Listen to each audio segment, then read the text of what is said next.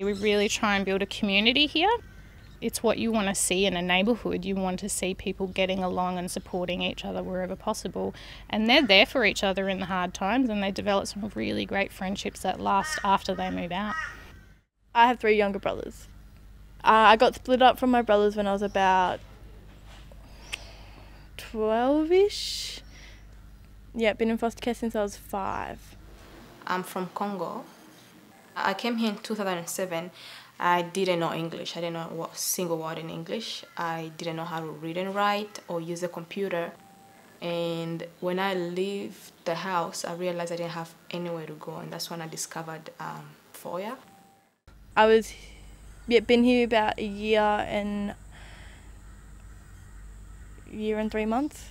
I guess it's helped me to adult a bit more. Um, but I mean, we do have lots of support here, so if I needed any help majorly, I'd always come to the girls.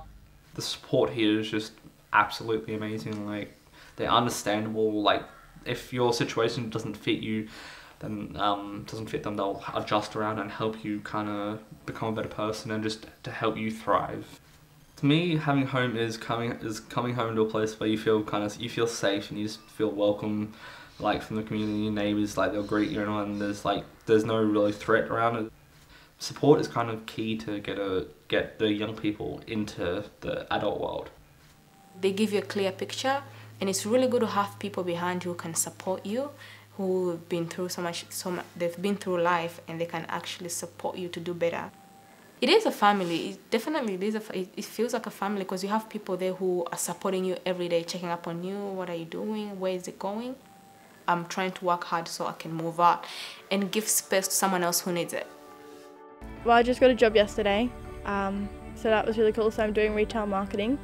Um, so that's really flexible, um, which is really cool because I'm recording music at the moment too, so I get to do that on the side.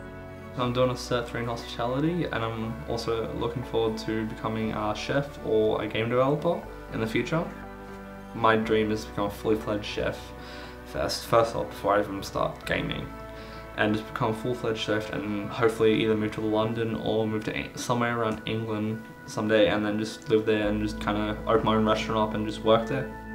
I am working on my uh, business. It's a retail, online retail uh, business and I'm also working on my feature film.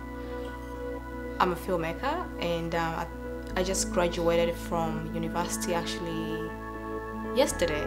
My graduation was yesterday.